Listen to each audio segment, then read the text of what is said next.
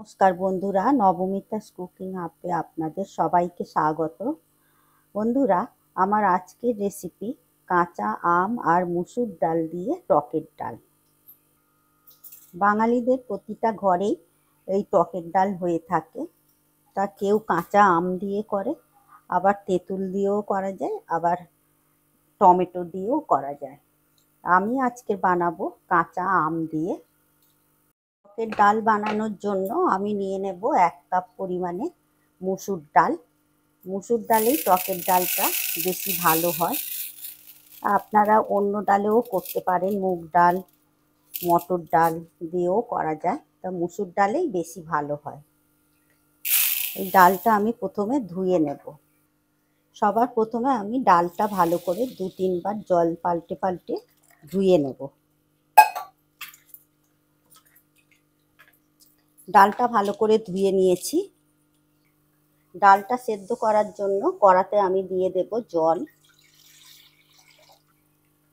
কড়াতে জলটা গরম হওয়া পর্যন্ত আমি ওয়েট করব। তারপরে আমি ডালটা গরম জলে তুলে দেব। এদিকে জলটা ফুটতে শুরু করে দিয়েছে। এর মধ্যে আমি দিয়ে দেব ধুয়ে রাখা মুসুর ডাল। এইভাবে গরম জলে ডালটা সেদ্ধ করলে ডালের টেস্টটা বেশি ভালো হবে। আমি এই ডালের ফেনাগুলো ফেলে দেব। এই ফেনাগুলোতে ডালের যত ময়লাগুলো ফেনা হিসাবেই বেরিয়ে আসে, এই ফেনাগুলোকে ফেলে দিতে হবে। আমি কড়াতে মুসুর ডালটা সেদ্ধ করে নিচ্ছি। আপনারা পারলে প্রেশার কুকারেও করে নিতে পারেন। তাতে একটা সিটি দিলেই হয়ে যাবে। মুসুর ডাল সেদ্ধ হতে বেশি সময় লাগে না। আর ডাল সেদ্ধ হয় ডালের কোয়ালিটি হিসাবে। ভালো ডাল হলে একটা সিটি দিলেই হয়ে যাবে। আবার যদি ডালের কোয়ালিটিটা একটু খারাপ হয়, তখন দুটো সিটি দিতে হবে। ডালটা এদিকে সেদ্ধ হতে হতে আমি আমটা কেটে নেব। আমি এদিকে একটা গোটা কাঁচা আম নিয়ে নিয়েছি। এটাই আমি কেটে নেব। পুরো আমটা আমি দেব না। এইভাবে খোসাটা ছাড়িয়ে নিতে হবে।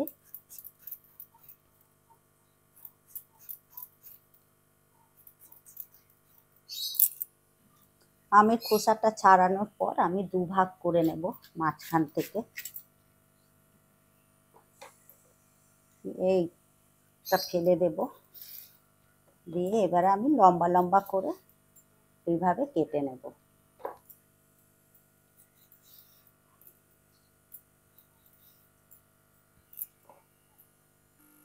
এরপর আমি ডালটা একটু নেড়ে দেব। এদিকে দেখে নেব ডালটা কতটা কি সেদ্ধ হলো। ডালটা সেদ্ধ হয়ে গেছে, এর থেকে আর বেশি সেদ্ধ করব না। এবারে আমি একটা বাটির মধ্যে ঢেলে নেব। একটা বাটির মধ্যে ঢেলে নেব। এই কড়ার মধ্যে কিছুটা জল দিয়ে দেব কড়াটা ধোয়ার জন্য। কড়াটা তো ধুয়েই নেব আর সেই জলটা রেখে দেব। কড়াটা আমি ভালো করে ধুয়ে নেব। ধুয়ে নিয়ে জলটা ভালো করে ফুটিয়ে আমি রেখে দেব। এই গরম জলটাই আমি পরে এই টকের ডালে ব্যবহার করব। এরপর সেদ্ধ ডালের মধ্যে আমি দিয়ে দেব স্বাদ অনুযায়ী লবণ। আর দিয়ে দেব হলুদ গুঁড়ো। এই হলুদ আর লবণটা ডাল সেদ্ধর সাথে ভালো করে মিশিয়ে নেব। এদিকে কড়া ধোয়া জলটাও ভালো করে ফুটে গেছে। এই জলটাই আমি সেদ্ধ ডালের মধ্যে দিয়ে দেব। সবসময় ডালে গরম জল ব্যবহার করবেন, তাতে ডালের স্বাদটা বেশি ভালো হবে। এভাবে দেখে নেব। এর থেকে বেশি আর পাতলা করব না। আপনারা যে যেমন ঘনত্বটা পছন্দ করেন, সেই মতনই করবেন। ফোড়নের জন্য কড়াতে দিয়ে দেব সর্ষের তেল। সর্ষের তেল ব্যবহার করলে বেশি ভালো হবে। ফোড়নের তেলটাও গরম হয়ে গেছে। এর মধ্যে দিয়ে দেব কালো সর্ষে। আর দিয়ে দেব দুটো শুকনো লঙ্কা। ফোড়নের মশলাটাও বেশ ভালো গন্ধ বেরিয়েছে।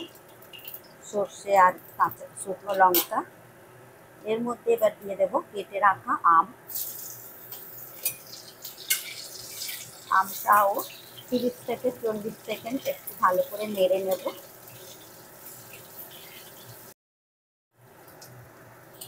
আমটাও তিরিশ থেকে চল্লিশ সেকেন্ড নেড়ে নেওয়ার পর এই এরই মধ্যে দিয়ে দেব সেদ্ধ করে রাখা ডাল।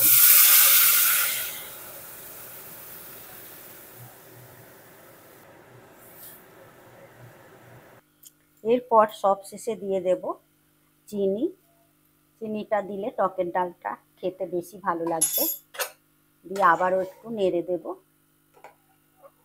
এবারে এক থেকে দু মিনিট ভালো করে একটু ফুটিয়ে নেব। তাতে আমটাও সেদ্ধও হয়ে যাবে। আমটাও সেদ্ধ হয়ে গেছে। এবারে আমি টকের ডাল ঢেলে নেব।